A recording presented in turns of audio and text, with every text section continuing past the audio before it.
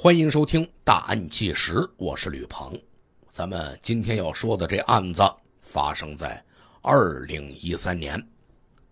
二零一三年三月十一号中午十一点半的时候，家住江苏省扬州市的蒋先生呢，骑着自行车就回家，在经过新城河望月桥的时候啊，就发现那平缓的河面上突然飘着一东西。蒋先生呢？也感觉好奇，哎呦，这飘的什么呀？左看右看，越看越像一个人头。蒋先生啊，当时吓得呀都不行了，立刻就拨打了幺幺零。最后，扬州市公安局韩江分局的民警赶到了现场了。警方啊，也是站桥上这么一看，哎呀，这什么呀？这。越看呢，还真是越像一颗人头，只是呢，露出很小的一部分。光天化日之下，市中心的河道上飘着一个人头，哎呦！一时间，各种各样的恐慌情绪可就蔓延开了。这人是谁呀？怎么死的呀？怎么飘到市中心的河道里了呢？其实啊，露出水面的。只是头部的三分之一，并且那，大家看到的时候还在缓缓的移动着呢。民警就感觉不对劲儿啊。为什么说不对劲儿呢？通常大家看到河里漂浮的尸体啊，呸呸呸，这玩意儿平时哪看去是吧？反正通常吧，河中浮尸，那都是四肢整个漂在水面上的。而这具尸体呢，光脑袋漂在水面上，这不对呀。当时啊，也正好是午饭的时候，响晴不日，很多路上的行人就都在岸边停下来了，围观的人是越来越多。在大家的注视之下呀，这尸体被慢慢的打捞上来，而这尸体一上来，尸体这副样子，让围观的人那是吃了一惊啊。这具尸体呢，手脚是被绑住的，腰上啊。系了东西了，是有负重的，尸体已经腐烂了，看不清长什么模样了，但是能够清清楚楚看见，双手双脚都被打包带捆住，那腰上呢是系着一个方形的那种窨井盖，这是典型的杀人沉尸案呐。打捞上岸的尸体，第一时间被送往扬州市法医检验中心来进行检验。这死者奇怪的死亡姿势，那么多人都看到了，于是很快就成了扬州市街头巷尾的热点话题了。人们就纷纷的在那猜测呀：“哎呦，这怎么回事啊？怎么死的呀？”而要调查这个男子的死因，首先呢，就要找到这男子准确的落水地点。警方就以案发现场为中心，把河道方圆三公里之内所有的监控摄像头拍下来的视频都调取过来了，一一进行查看。同时呢，沿着河道进行搜索，看有没有可疑的痕迹物证。这新城河呢，是韩江中心区的一条南北方向的排涝河，河两边啊居住着大量的居民。新城河位于市中心，从北往南，整个是纵贯扬州市涵江区。河面呢，差不多是二十米宽，中间的水呢，差不多两米多深。为了寻找到死者准确的落水点，警方啊，在扬州市韩闸河道管理处查询了近两个月以来所有的水湾的资料。发现这个河道水流呢变化也不大，警方就判断，可能这个落水地点和发现尸体的位置相差也不会太大。就在外围侦查员紧张的进行走访排查时，扬州市法医检验中心的法医有了新的发现。检查死者衣服的时候啊，就发现啊，死者衣服特别整齐，口袋里面的随身物品呢。还都在呢。要说起来啊，死者的随身物品还真不少，有两千七百块钱现金，一部三星手机，还有一张银行卡。同时呢，还有一张二月九号从广东平时到江苏扬州的火车票。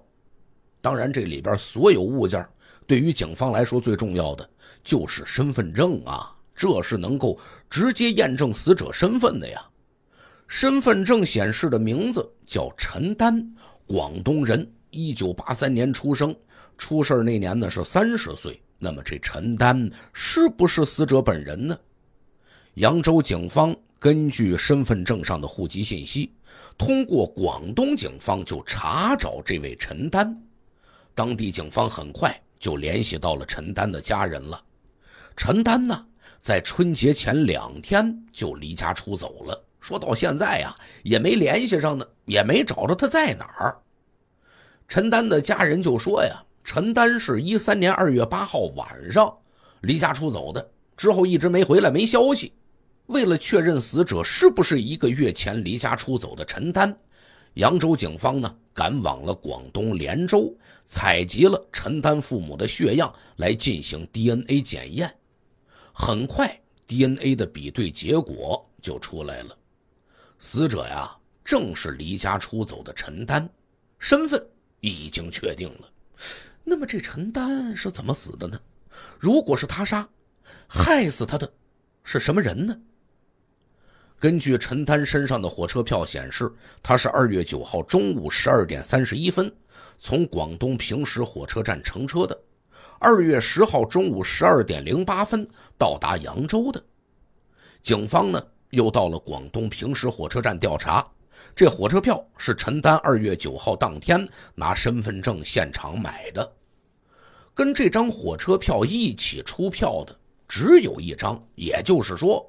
陈丹是一个人来到扬州的，没有同伴一广东人来扬州，要干什么来呀？是要跟谁见面吗？他在哪儿落脚呢？警方就在全市范围之内对宾馆、旅馆、网吧、洗浴场所进行了排查，可发现没有用这张身份证登记过。排查过后，身份证。没在任何地方做过登记，那他不找地方住，他去哪儿啊？警方呢又对陈丹随身携带的物品进行了分析，身上有现金、有手机，这都是值钱的东西啊，所以基本上能够排除为财杀人了。三种可能是吧？各位又要在心里边默读一遍了：情杀。仇杀、为财杀人排除了一个，那会不会是仇杀或者情杀呢？另外，凶手作案也有挺奇怪的地方，把陈丹呢扔到了河里，又绑了重的东西，这就是不想让陈丹的死被人发现，不想让人知道陈丹的身份。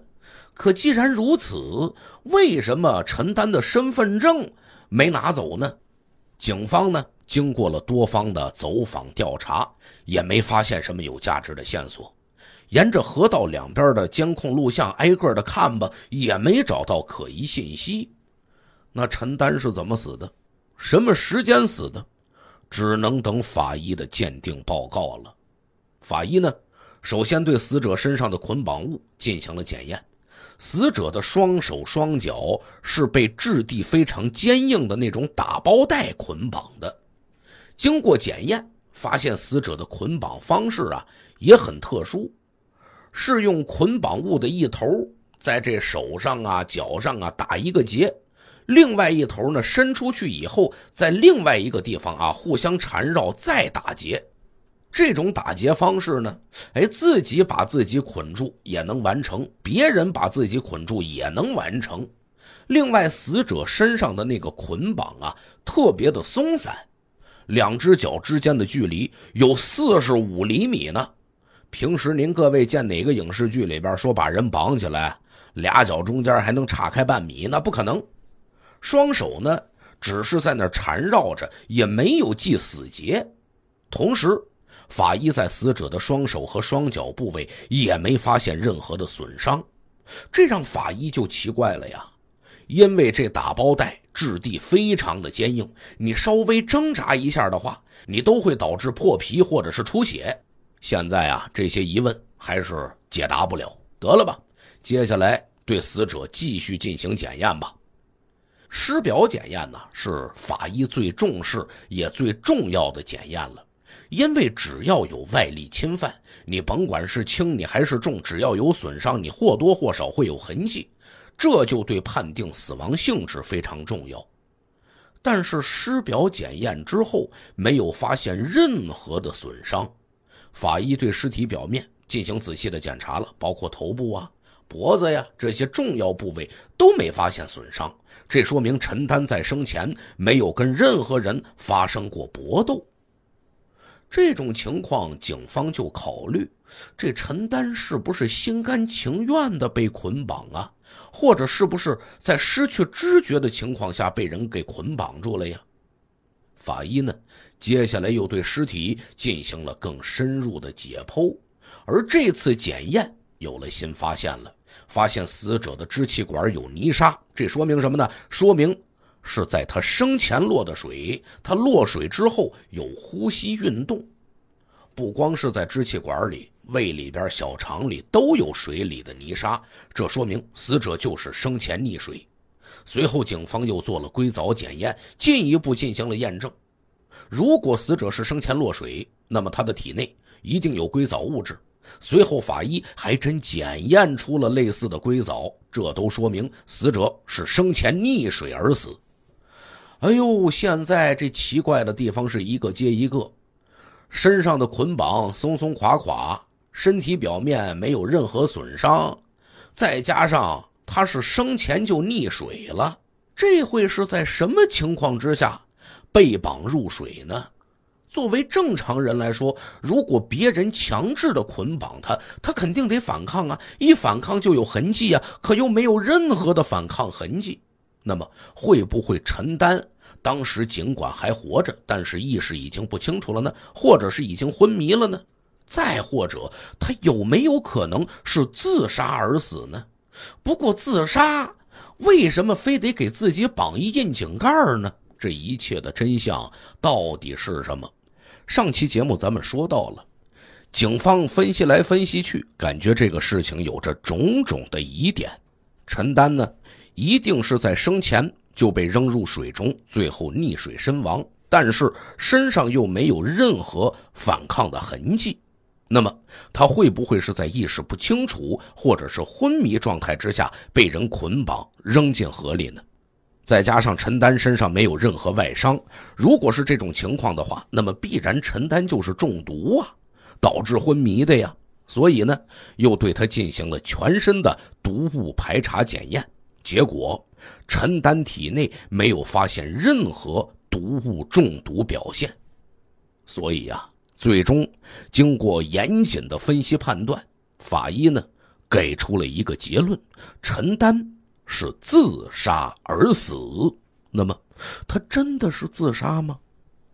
二零一三年三月十一号下午，扬州市公安局刑事科学技术研究所和韩江分局刑事科学技术室的法医，在对尸体进行捆绑物检验、尸表检验、解剖检验、硅藻检验以及毒物检验之后，做出了死因是生前溺水死亡的判断，死亡方式是自杀，死亡时间呢是距离检验一个月左右。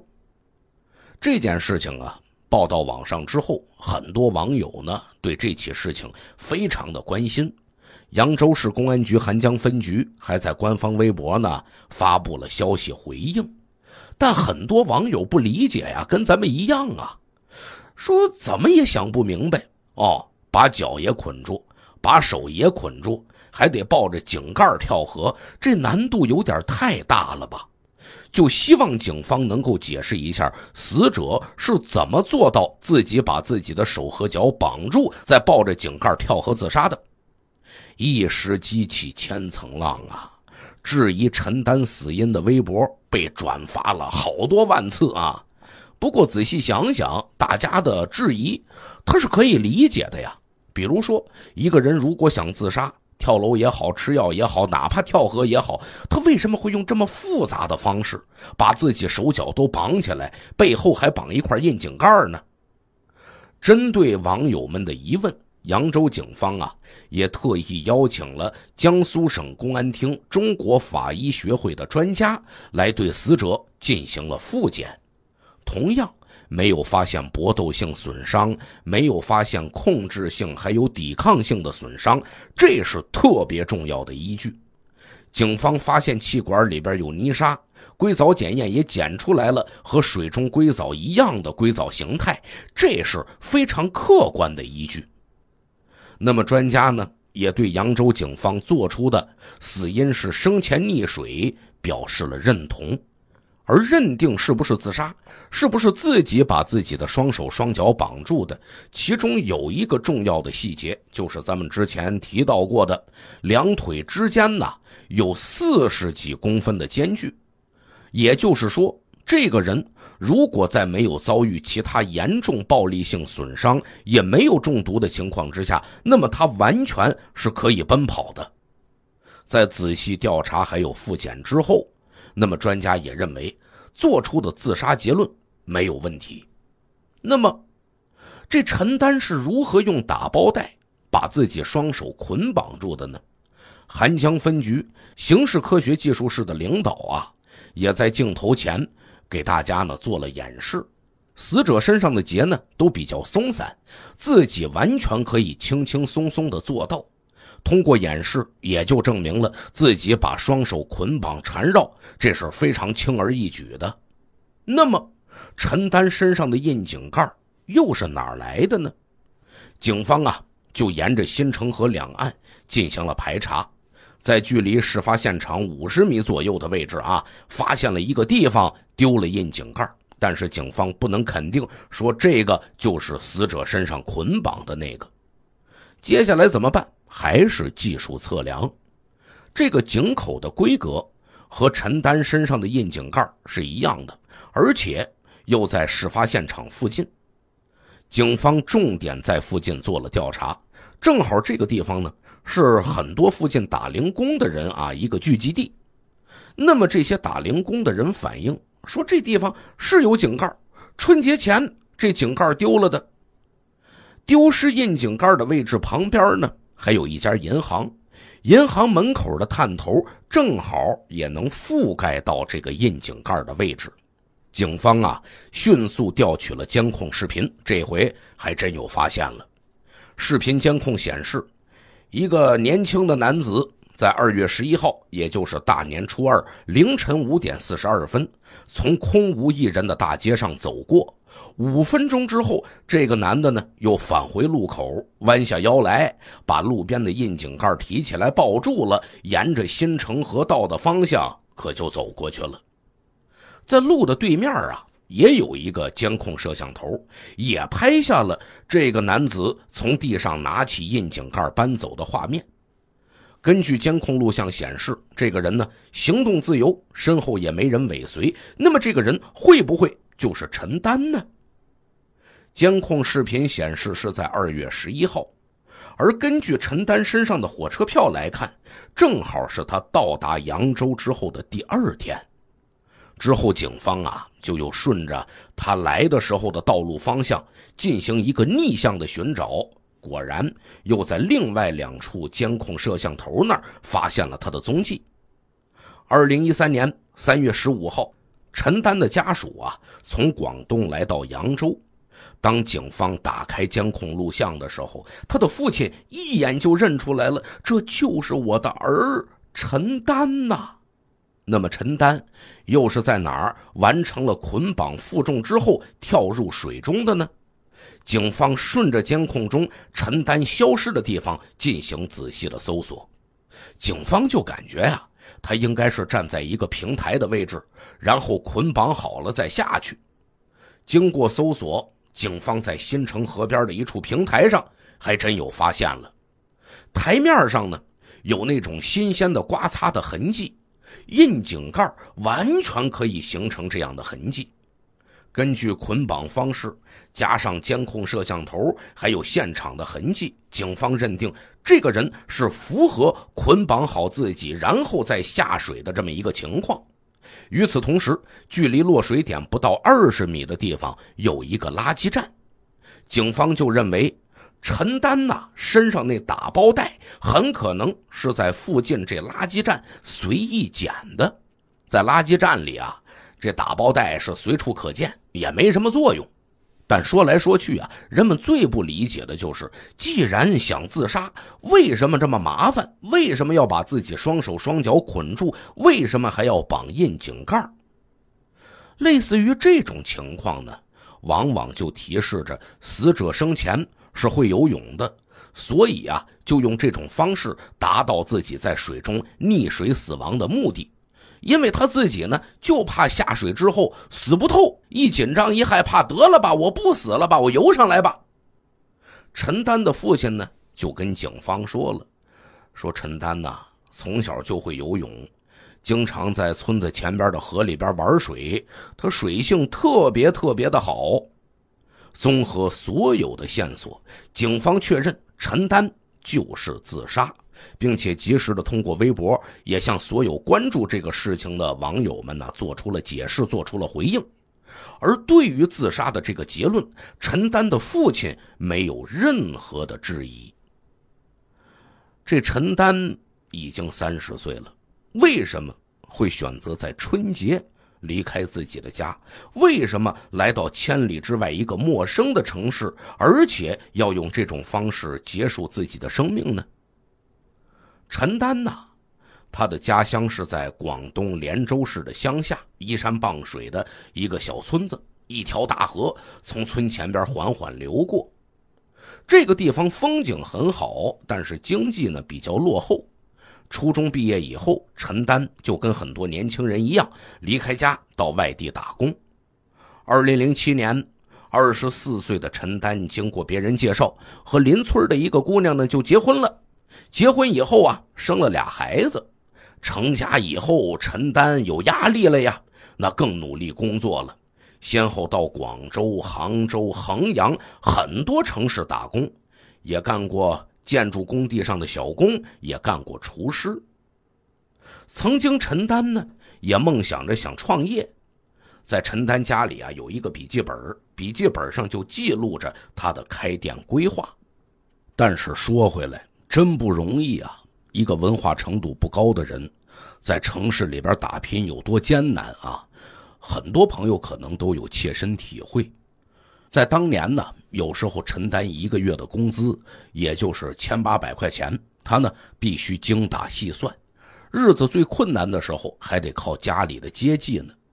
为了挣更多的钱，实现自己的梦想，二零一二年五月份，他去了澳门的一个建筑工地打工。可是，仅仅过了一个月就回来了，因为工地上啊发生了事故，让他觉得很害怕、很恐怖。回来之后呢，他也偶尔会跟家人提起来啊，在外打工的时候有的这些辛酸经历。在他的描述之中呢，家人明显感觉到他不愉快，心里面呢应该说是比较沉重的。但究竟陈丹在外面经历了怎样的磨难？也没跟家里人说过，至今呢也没人知道陈丹到底经历了一段怎样的生活。反正这回回来之后，陈丹的脾气是越来越暴躁，性格越来越古怪，也没有人呢过多的去了解他这种性格变化的原因。家人就是知道这次回来之后，陈丹呢慢慢的沉默了，不愿意跟人说话了。二零一三年二月八号晚上，也就是大年三十前一天，没跟家人打招呼，直接骑上摩托车就走了。当天晚上啊，他一夜没回来。第二天，父亲打通陈丹电话的时候，陈丹呢就已经到了外地了。这个电话呀打通了，就说我现在呢在坐火车，说摩托车呀在平时车站门口，钥匙也没拔，你们呢？去那儿把车骑回家吧，我有急事儿。